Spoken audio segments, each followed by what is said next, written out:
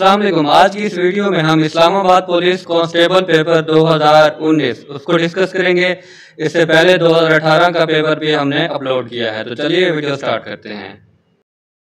Abu Talib was the dash of Hazrat Muhammad सल्लल्लाहु अलैहि वसल्लम। अबू तालिब आपके चाचा का नाम था। आपके वालिद का नाम हज़रत अब्दुल्ला और आपके दादा का नाम अब्दुल मुतलिब था। Pakistan largest boundary with Pakistan की लार्जेस्ट बाउंड्री अफ़गानिस्तान के साथ है जिसको ड्यूरन लाइन कहा जाता है और जिसकी लंबाई 2624 किलोमीटर है। 26 24 आप याद रख सकते हैं Durand line. Muslim general who can conquer Sindh was nephew of Hajjaj bin Yusuf. Muhammad bin Qasim जो था वो भांजा था आ, मुस्लिम जर्नल जिसने सिंध को फतह किया था। The Shimla agreement was sign between Zulfikar Ali Bhutto and Indira Gandhi Shimla agreement किसके दरमियान हुआ था? जुल्फ़िकार अली भुट्टो और इंदिरा गांधी के दरमियान। In how many natural region Pakistan can be divided Pakistan को नेचुरल रीजन के लिहाज से कितने रीजन में डिवाइड किया गया है? Six is right option synonym of hire is hire का मतलब होता है किसी को रिक्रूट करना, उसको न्यू अपॉइंटमेंट देना। तो इसका मुतरदिफ क्या होगा? हायर का recruit C option is correct the conqueror conquest of Khyber was यानी कि फ़ातह खैबर किसका लकब है या किसको कहा जाता है? हज़रत अली को फ़ातह खैबर कहा जाता है। Portrait and landscapes are portrait and landscapes ये क्या है जी? पेज ओरिएंटेशन है। यानी कि हम पेज को किस तरह से शो कर रहे हैं? पोर्ट्रेट में या लैंडस्केप में? ये page orientation कहलाएँगी। Saleem agree dash me in his matter Saleem agree with me in this matter तो इसमें से ई e जो है वो राइट ऑप्शन होगा।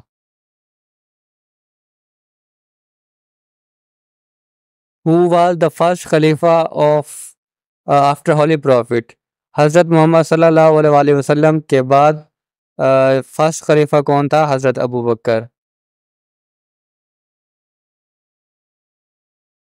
the minimum number of rows and column in M S Word document is one and one M S Office Word में minimum एक row और एक कलम ऐड हो सकती है तो इसमें ए ऑप्शन राइट है। The synonym of weak synonym कहते हैं मुतरदफ अल्फाज को तो वीक का मुतरदफ या सेनोनाइम क्या होगा? Fragile B option is correct if yesterday was Monday what day is after tomorrow यानी कि कल मंडे था तो आज ट्यूसडे होगा, और डे आफ्टर टुमारो फिर क्या होगा? थर्सडे होगा। तो इसमें से Thursday A option is right Ahsan father died yesterday अब येस्टरडे गुजरे हुए कल की बात हो रही है तो सेकंड फॉर्म का इस्तेमाल करेंगे तो ए ऑप्शन आएगा died Ahsan father died yesterday the presiding head of national assembly is speaker यानी कि नेशनल असम्बली में कौन से पर्सन को प्रेसिडेंट का अहदा जो है, तस्वुर किया जाता है स्पीकर को। Choose the best same meaning of vitiate vitiate का मतलब होता है किसी चीज़ को ख़राब कर देना। तो इसमें से जो इसका राइट ऑप्शन बनेगा वो होगा सी स्पॉयल का मतलब भी होता है ख़राब करना।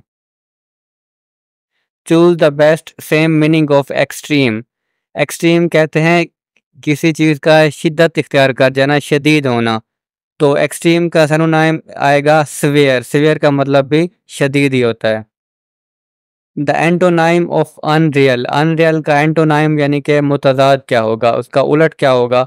तो एक चीज़ अनरियल होती है और दूसरी उसके अपोजिट होती है, यानी कि जेनवन होती है ओरिजिनल होती है तो B option is right the antonym of neat neat एक वर्ड है जिसका मुतजाद अल्फाज होगा डर्टी नीट माने साफ़ और डर्टी माने गंदा तो C option is right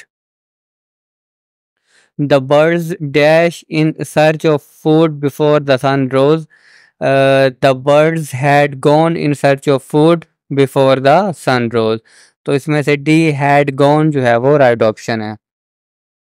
I am short of money these days short के साथ हमेशा ऑफ़ लगता होता है।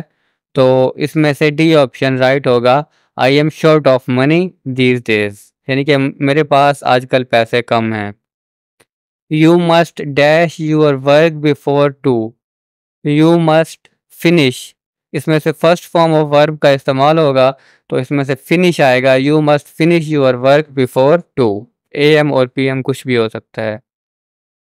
पैसिव वाइज बनाना है जी एक्टिव वाइज का। The people will make him president he will be made president by the people will का इस्तेमाल हुआ है तो हमने भी ऑप्शन में से विल ही देखना था। सैनोनाइम ऑफ़ एक्नॉलेज एक्नॉलेज एक वर्ड है, जिसका मुतरदफ अल्फाज है रिकोगनाइज किसी चीज़ की पहचान होना। तो एक्नॉलेज इसका सैनोनाइम आएगा recognise saw is carpenter so pen is to writer अब इसमें रिलेशन बताना है, जैसे सा सा का रिलेशन है कारपेंटर के साथ, इस तरह पेन का रिलेशन है राइटिंग के साथ। X and Y are children of Z X और वाई जेड के बच्चे हैं। अब वो बेटा बेटी, कोई पता नहीं एक्स है या वाई है। फिर कहता है Z is father of X Z जो है फादर ऑफ़ एक्स का but Y is not a son of Z तो ये डॉटर होगी। Which object is different from other in following इनमें से हमने जो डिफरेंट चीज़ है, बाकियों से वो बतानी है। Teacher professor principal student headmaster तो इसमें से स्टूडेंट जो है, ये डिफरेंट है, बाकी एक ही हैं। Measure of an angle inscribed in a semicircle is equal to 90 degree D option ये 900 नहीं है 90 डिग्री है। तो इसमें डी ऑप्शन ठीक होगा इसका।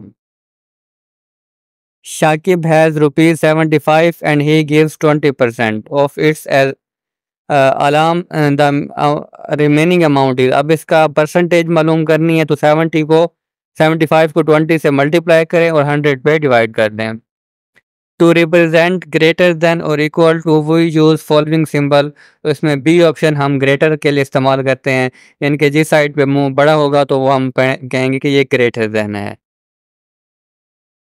In M S PowerPoint F five is use F five जो बटन है एम एस पावर पॉइंट में किस लिए इस्तेमाल होता है? For slide show slide show होता है ट्रांजिशन का आना एक स्क्रीन से दूसरे स्क्रीन का तो इसको स्लाइड शो कहते हैं। Which of the following bar is not available in M S Word M S Word में कौन सा बार जो है वो अवेलेबल नहीं होता? फार्मूला बार नहीं होता क्योंकि ये एक्सेल शीट में होता है। बाकी ये टूल और स्टेटस बार मेन्यू बार ये मौजूद होते हैं। कंट्रोल प्लस एक्स कट करने के लिए इस्तेमाल होता है। पेस्ट करने के लिए कंट्रोल प्लस वी का इस्तेमाल किया जाता है। और स्पेस के लिए स्पेस बार बटन का इस्तेमाल किया जाता है। Current affair past paper written test preparation की वीडियोस देखने के लिए हमारे चैनल सब्सक्राइब कर लें। तो मिलते हैं नेक्स्ट वीडियो में, तब तक के लिए अल्लाह हाफिज़।